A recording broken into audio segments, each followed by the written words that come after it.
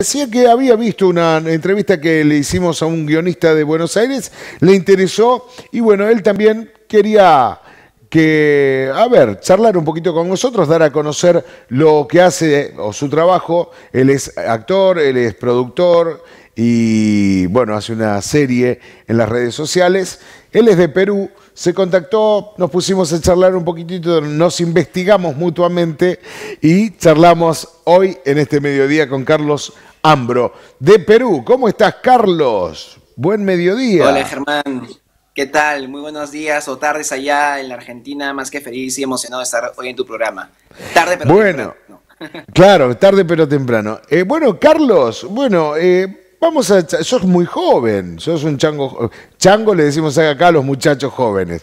¿eh? Sos un muchacho joven que se dedica a esto de la actuación, de la producción.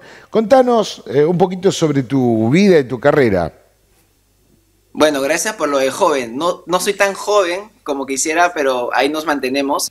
Yo comencé toda esta gran aventura hace 12 años. 12 años. En teatro.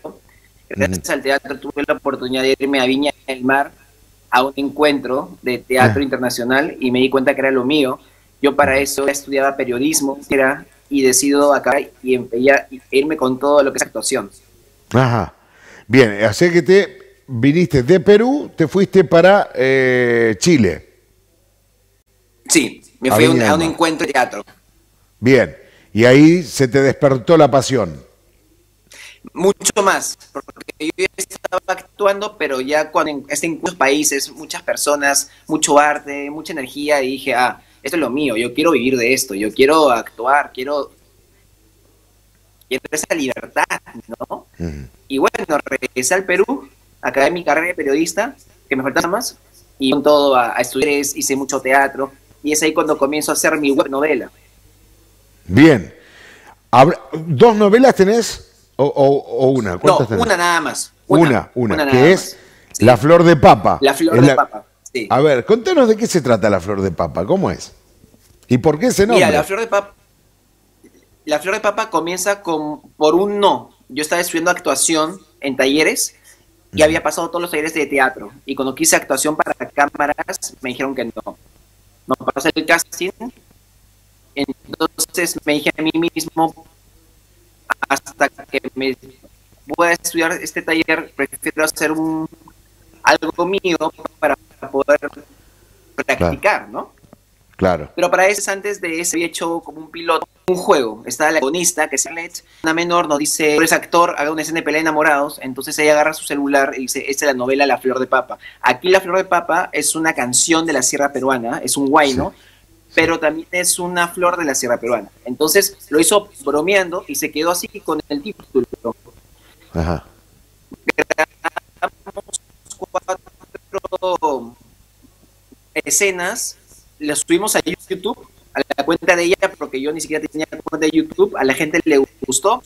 Mm. A ver, vamos a esperar que se... Eh, eh, Carlitos, Carlitos, vamos a esperar un momentito. Eh, no me eh, gusta, le digo, por favor, borrame la 4 y me borró los 4. Pará, pará, pará, pará. Estamos teniendo un... Sí, mala, mala calidad de, internet. Eh, vamos a esperar que se normalice, que se estabilice un poco el, el, internet para poder charlar tranquilo, porque lo estábamos escuchando todo entrecortado y no se entendía demasiado. La cosa es que él eh, te dijeron que no y te pusiste a grabar vos por tu cuenta, te buscaste unos chicos, hiciste una escena y vamos para adelante con esto. ¿Y qué pasó? ¿Qué, te borraron? Eh, ¿Qué, pasó? Porque no entendí esa parte. Le, le dije a la hermana, bórrame la 4 y me borró los 4. Ah, pero, ah, claro, te borró todo, no quedó nada. Sí, nada nada. Entonces, meses después, sí. yo ya me dijeron que él no, y es cuando decido hacer la novela, pero ya mm. tenía el título y tuve que basarme de ese nombre para armarla. Bien, bien. Y en esta novela, ¿de, qué, ¿de qué se trata? A ver, para los chicos o la gente que esté interesada en meterse en YouTube, busca que la flor de papa novela o cómo figura. Está como telenovela La Flor de Papa. Telenovela La Flor de Papa. Perfecto. ¿De qué se trata? ¿Cuál es la historia que, se encuentran allí?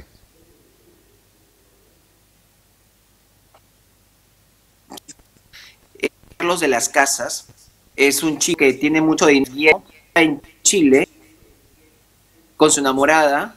La enamorada muere mm. y él queda como el culpable de la muerte de ella. Y se regresa a Lima, pero transformado, como villano, frustrado, enojado.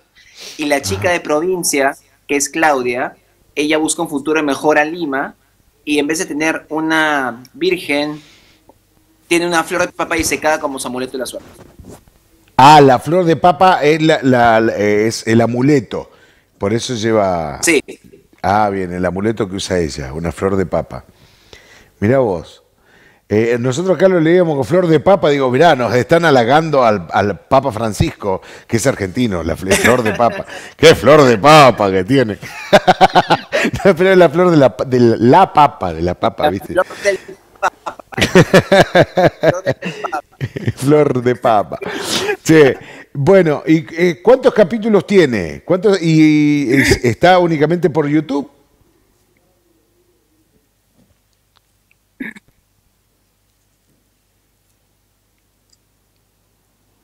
Estamos teniendo una demora bastante importante.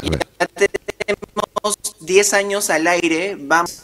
Ah, ah, mira, 10 años al aire, hace que están.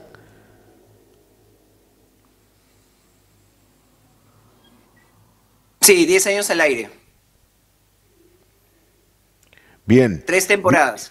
Tres temporadas, qué bárbaro, che. ¿Y la gente se prendió? ¿Qué, ¿Cuál fue la respuesta de, de parte de los que se, siguen la serie? ¿Hubo buena repercusión? ¿Era lo que esperabas? Bueno, tú sabes cómo es esta situación, ¿no? Cuando uno se arriesga. Mm. Pero sí, hay gente que le ha gustado, hay gente que lo sigue hace 10 años, pero mm. el problema es que yo no subo tan seguido los capítulos. Bien. Porque es turística y viajo a muchas partes del mundo. Ah, bien. ¿Y el lugar donde vas, vas y filman allí? ¿Han hecho en Argentina? Sí. Sí, dos veces, 2016 y 2017. Ah. ah, bien. Estuve en Buenos Aires, Mar del Plata y La Plata. Bien, bien, en la provincia de Buenos Aires únicamente. Mirá si se viene para Córdoba, Carlitos, cuando vea las sierras y los ríos, las montañas, da, ahí te quedás a vivir acá y la terminás acá la serie. Acordate lo que te digo. no te vas a querer volver. Sí, yo de todas maneras quiero ir a Córdoba, pero te cuento que la novela, la historia en sí ya terminó de grabar hace seis años, sino que estoy grabando el cuerpo, porque mi protagonista se casó y se fue a vivir a Estados Unidos. Entonces ah. tuve que adelantar la grabación, pero me faltaba el cuerpo y he decidido viajar al extranjero. Ah, esto es un, uh, un lío bárbaro para terminar. Ya te Tremendo, por lo que hay que pasar, lo que hay que renegar. Sí. ¿Y algún otro proyecto? Pero algún otro lo máximo, ¿ah? Sí, algún otro proyecto que tengas en dentro mente. Del proceso.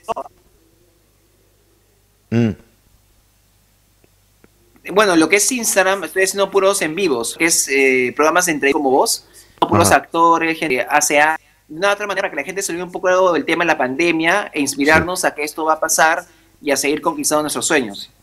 Qué lindo. damos eh, la dirección de tu Instagram para aquellos que, seguidores que quieran meterse en tu historia, ver lo que haces, las entrevistas y todo. Dale. Sí, estoy como arroba Carlos Ambro en Instagram. Ahí pueden verme, disfrutar y bueno, reírse un poco también porque hago TikToks de novelas. Ajá. Así tipo comedia. La verdad que me divierto mucho. Trato de pasarla bien. Bien, y, y por ahí, si se te ocurre, se puede hacer hasta una miniserie utilizando este recurso de la virtualidad con distintos personajes del, del, América, distintos seguidores, que se pueden hacer una miniserie también así, ¿no? ¿Quién te dice? es que la ventaja del Internet es que se puede hacer todo un poco Disculpame, la ventaja del internet me decías. ¿Cuál es la ventaja? Estuve grabando primero con una actriz mexicana Ajá. que se llama Kenia Bien, bien, te escucho, dale. Sí, sí, con y ella, por ejemplo, fue la villana, sé que Marimar se ve mucho aquí en Argentina. Bien, perfecto. Bueno, eh, vas a tener más seguidores ahora, espero que sí, y que de todos los seguidores algún momento en algún casting agarres a alguno de los argentinos para utilizarlos en alguna de tus, de tus series o telenovelas. Sería un, placer muy grande. Carlitos, estamos teniendo mucha interferencia lamentablemente eh, por ahí con el streaming, pero eh, yo te deseo desde acá todo lo mejor, te agradezco por ver las entrevistas y también, por supuesto, interiorizarte y, pedir que, hagamos este contacto contigo. ¿eh?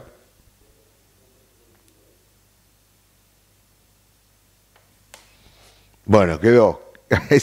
Ahí se, trabó, se trabó Carlos. Bien, bien, bien. Bueno, qué, lástima, qué lástima, che, pero estaba, estaba lindo. Le decíamos lo mejor a Carlos. A ver, ahí está. Sí, sí te escucho, Carlitos. Si estás ahí, te escuchamos ya para despedirnos, ¿eh? Estamos viendo las fotos, la presentación de La Flor de Papa, esta, este teleteatro, este, ¿cómo dijo? Telenovela, ¿no? Sí. Carlos, estoy acá, ¿me escuchas? Sí, ahí te estoy escuchando yo. Ahí se normalizó un poquitito. Telenovela. Hola, sí. ¿Me escuchas? Sí, sí, sí, telenovela. ahí está. Ya creo que ya salió el tema del estoy con terrible el internet. Y te decía, tremendo. En primer te, mencionaba que esa actriz fue una de las villanas de Matalía y ella hace de mi mamá en la novela. Ajá. Ah, mira. Entonces, con ella comencé a trabajar primero por internet y luego fui a México a grabar con ella su estudio de grabación. Ah, muy bien, muy bien. Perfecto. Bueno, ahí vemos todo el cuerpo y los artistas. Carlitos, te mando un beso grande.